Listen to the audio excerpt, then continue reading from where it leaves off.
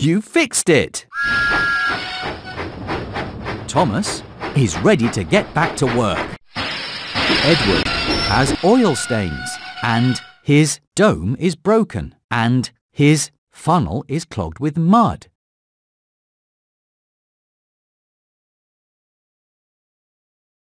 Great job, but there's still more to do. Edward's dome is broken and his great job, but there's still more to do. Edward's funnel is clogged with mud.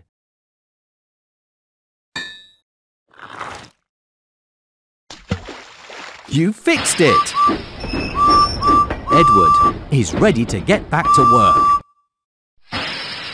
Henry's paint is scratched and his wheel arch is broken and his funnel is clogged with twigs.